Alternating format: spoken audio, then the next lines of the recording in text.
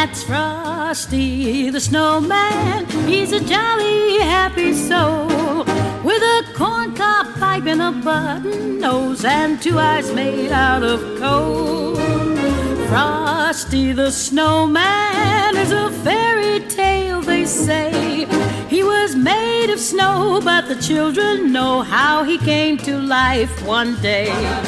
There must have been some magic in that old silk they found.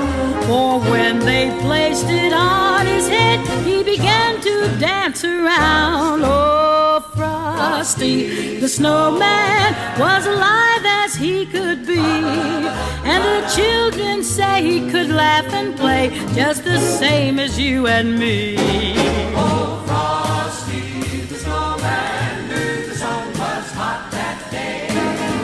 Said, let's run and we'll have some fun now before I melt away. So down through the village with the broomstick in his hand. Running here and there all around the square, saying, Catch me if you can.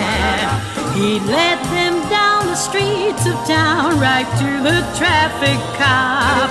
And he only paused